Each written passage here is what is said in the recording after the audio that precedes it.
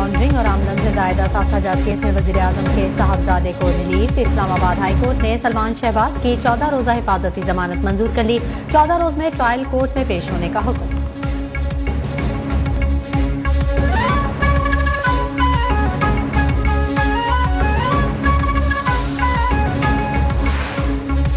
Cipher कौम को गुमराह किया। बाद में अमेरिका के पाँव में गिर गया। हेलीकॉप्टर का बेजा इस्तेमाल किया। इमरान खान को इसका हिसाब देना होगा।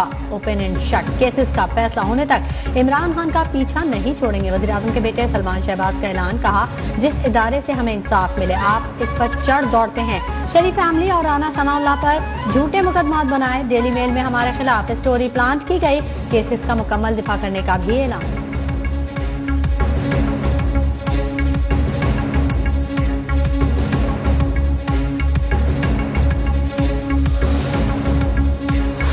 मुल्क में इलेक्शन की नहीं इसकाम की ज़रूरत है। क्या असेंबलियाँ बनाना और तोड़ना खेल है? इमरान खान चार साल हुकूमत में रहे करप्शन का सबूत न ला सके। इनका स्याह दौर चला गया। सहूलत सहूलतकार भी एक एक करके चले गए। वज़ीर रेलवे साद रफीक की चेयरमैन तहरीक इंसाफ पर तनकीद। कहा, इमरान खान जो काम करते हैं, वो उल्टा पड़ जाता है।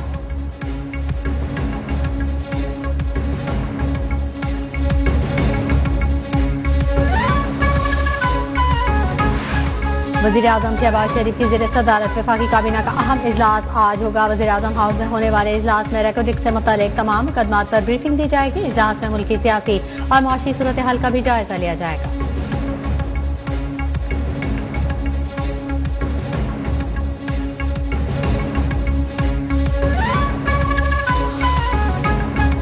सबक वजी अला पंजाब उस्मान बाज़ार कहते हैं कि हम अदालतों का एहतराम करते हैं। हमें यकीन है कि अदालतें हमें रिलीफ देंगी। क्लीन चिट देने के सवाल पर उस्मान बाज़ार बोले, इससे ज़्यादा वो कुछ नहीं बोलेंगे।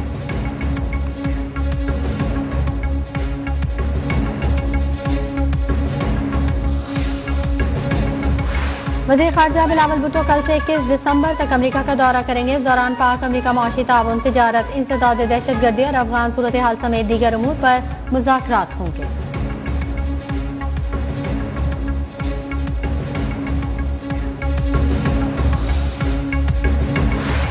आज़ाद कश्मीर में शदीद सर्दी वाला इलाकों में पारा नुकता इंजमात से नहीं गिर गया। मामला ज़िंदगी मुतासर। खुश सर्दी के बायस लोग घरों में महसूस